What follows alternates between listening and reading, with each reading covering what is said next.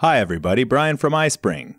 Today we're going to talk about applying penalties in your quiz. Penalties are a useful way to keep students from guessing randomly. Knowing that they face penalties for incorrect answers is a good way of keeping them focused. To set a default penalty for all incorrect answers, go to Quiz Properties, Question Defaults, and set the penalty right here. To set a custom penalty for a particular question, Go to that question and uncheck this box. Then you can enter your penalty here.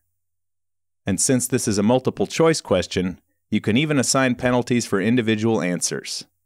Just select By Answer from this menu and apply your points here. Obviously, the correct answer should get some positive points. Since this answer is pretty close, I won't penalize them for it. But these two graphs are completely wrong, so I'll take a bite out of their score if they select one of these. Remember that a penalty should be assigned in negative numbers. This principle also works for multiple response questions. Here I'm awarding 5 points for every correct selection and taking away 5 for this wrong answer. Here's a couple of tips.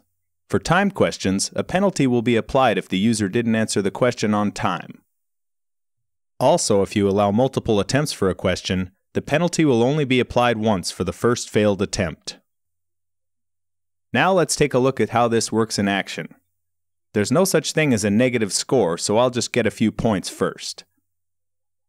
Now I'll answer this next question incorrectly.